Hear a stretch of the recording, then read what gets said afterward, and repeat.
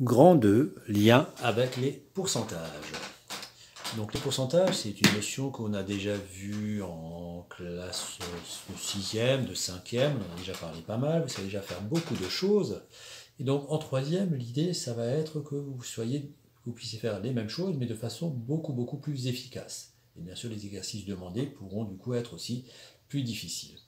Par exemple, ce premier exercice ici, sur 6335 objets fabriqués, environ 3% sont défectueux. Le mot environ va avoir son importance. Combien sont défectueux? Alors en cinquième, vous l'auriez fait comment? En cinquième, vous auriez peut-être fait un tableau de proportionnalité.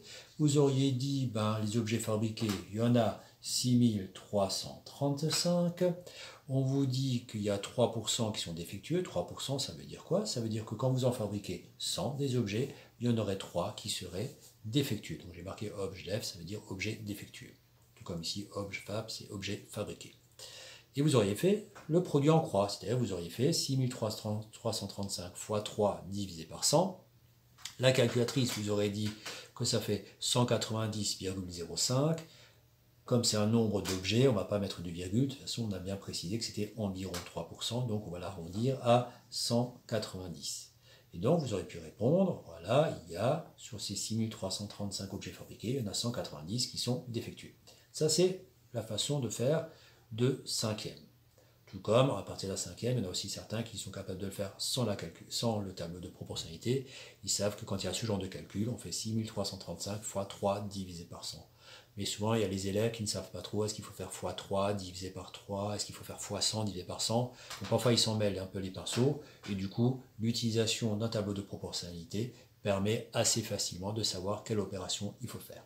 Mais vous n'êtes plus en cinquième, vous n'êtes plus en quatrième, vous êtes en troisième. Et donc, l'idée, ça va être de dire que 3%, 3%, ça veut dire quoi? 3%, ça veut dire que quand vous avez sur 100 objets, il y en a 3 qui sont défectueux. Il y a 3 objets sur 100 qui sont défectueux.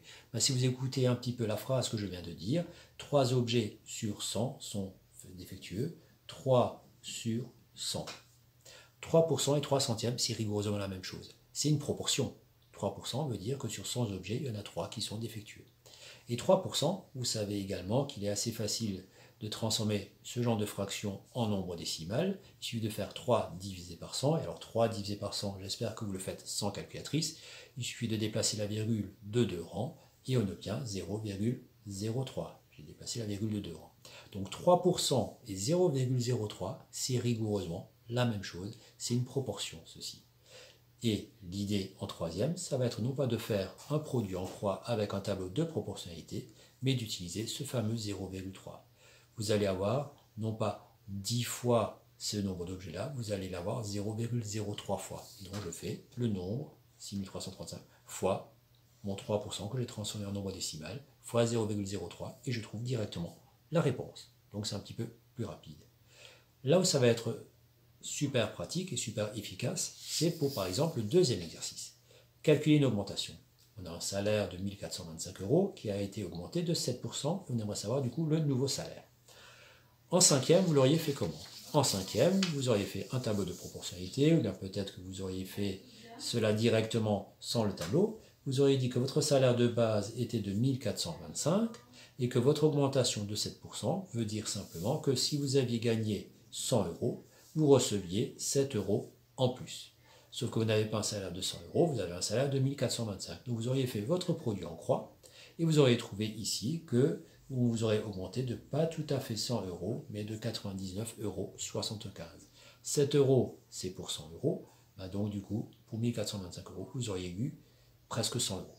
Et donc, en cinquième, qu'est-ce que vous auriez fait à la fin? Vous auriez fait 1425 plus les 99,75 euros que vous recevez en plus, et vous auriez trouvé la réponse qui se trouve ici, à savoir 1524,75. Ça, ça aurait été votre nouveau salaire, mais comme dit, ça c'est la version cinquième. En troisième, l'idée, ça va être d'être un petit peu plus malin. L'idée, ça va être quoi? Ça veut simplement dire que votre salaire de 1425 euros, ça, ça va représenter 100%. Tout simplement. Et vous, ce qui vous intéresse, ça va être non pas de calculer votre augmentation, ça va être de, calculer directement votre nouveau salaire. Or, votre nouveau salaire, si au départ c'était 100%, si ce 1425 représente 100%, votre nouveau salaire, après l'augmentation, va représenter 107%. Donc on va calculer non pas, la, non pas 7% de ce salaire-là, on va calculer directement 107% pour savoir combien ça fait 107% de ce salaire. Ça voudra donc dire que j'ai mes 100% plus mes 7% directement là. Et avec le même raisonnement que j'ai tenu ici, 107%, c'est en fait 107 centièmes. Et quand vous faites votre division, vous trouvez que c'est l'équivalent de 1,07. Alors, bien sûr, ça, c'est ce qu'il faut se faire dans sa tête. Il ne faut pas l'écrire. Donc, très rapidement, le 107%, vous saurez que c'est 1,07. Le 1,07, le 1, ça correspond à votre salaire de départ. Et le 0,07 qui est derrière, c'est en fait les 7% que vous avez en plus. Vous avez une fois le salaire plus votre augmentation de 7%. Et donc, on va calculer directement 1425 fois 1,07 et vous tombez directement sur 1524,75 euros. C'est quand même autrement plus rapide. Ça, ça peut vous sembler difficile au début, mais ça ne l'est pas. Avec de l'entraînement, vous allez voir, ce sera presque instantané. Et votre calcul, avec un seul calcul, vous allez calculer le nouveau salaire. Le raisonnement peut être à peu près analogue si c'est une baisse. Ici, j'ai un exemple, 628 élèves qui, on vous dit que ça va baisser de 8%. En cinquième, que vous auriez fait, vous auriez dit qu'il y a 628 élèves, il y avait 628 élèves, et ça a baissé de, 8%, ça veut dire que si au départ vous avez 100 élèves, il y en aurait eu 8 en moins. Vous aurez fait votre produit en croix, vous aurez trouvé qu'ici ça fait 50,25, comme c'est un nombre d'élèves et qui a bien précisé environ 8%, ben, du coup ça voudrait dire qu'il y aurait 50 élèves en moins, en moins. Et 50 élèves en moins, 628 moins les 50 élèves qui y a en moins, vous aurez trouvé que ça faisait 578 élèves. Ça, ça aurait été la méthode de la cinquième. Donc un premier calcul pour calculer 8% combien ça fait? Ben, Ça fait 50 élèves. Et après un deuxième calcul avec votre soustraction pour trouver la réponse finale. Donc niveau cinquième, ça marche très bien. Et en troisième, on va être un petit peu plus rapide. En troisième, on va dire quoi? On va simplement dire que si j'ai si l'année d'avant on avait 628 élèves, et que maintenant j'ai perdu 8% de ces élèves, il va me rester 92%. En effet, 100% moins les 8% qui sont partis, il va me rester 92%. Donc je ne vais pas calculer 8%, c'est-à-dire je ne vais pas calculer ceux qui sont partis, je vais calculer le nombre d'élèves qui sont restés finalement. Il va me rester 92%. Et comme avant, le 92%, c'est 92 centième, et 92 divisé par 100, ça fait 0,92. Donc je vais calculer mes 92% avec ce nombre-là. Je vais faire 628 fois 0,92, calculatrice, j'arrondis parce que je vais trouver un nombre à virgule, sinon je vais tomber sur le 578 élèves qui me sont restés. Mais 92% d'élèves qui sont restés représentent 568, euh, ça été 578 élèves. Voilà, donc voilà les trois méthodes. Ici, vous avez un petit résumé euh, de ce que je viens de vous raconter. Et de même, un petit rappel.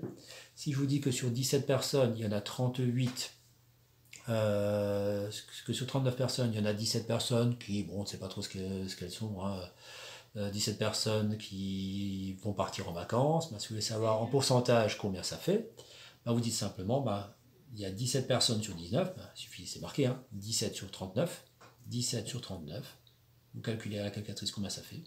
Vous allez faire le raisonnement inverse de ce qu'on a fait ici, ou de ce qu'on a fait euh, là, vous voyez ce genre de raisonnement-là?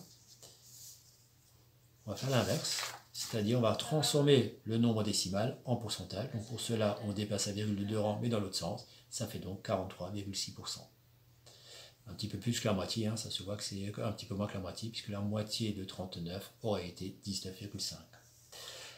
Pour passer de 12 à 17, euh, par exemple, euh, euh, je ne sais pas, moi, vous avez 12 personnes qui, une année, l'année d'après, vous en avez 17. Donc il y a une augmentation. Et si vous voulez savoir quelle est l'augmentation, bah, vous, pouvez, prendre cette formule-là, nouveau divisé par ancien, nouveau divisé par ancien. Le nouveau nombre, on est passé de 12 à 17, donc ça c'est le nouveau.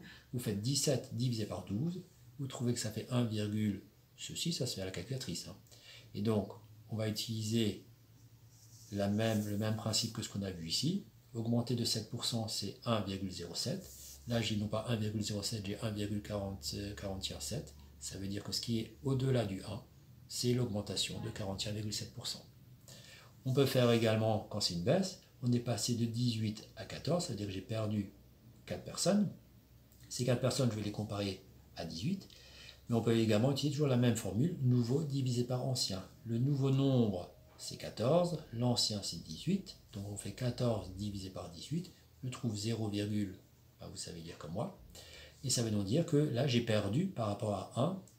1, ça aurait été 100%. Il va me rester, parce qu'il me manque par rapport à 100%, il me reste 77,8. Ce 77,8, c'est les 14. Les 14 personnes par rapport à 18 représentent 77,8%. Donc il me manque 22,2%. Comment on trouve ce 22,2% ben, Vous faites 100% moins 77,8, vous trouvez 22,2%.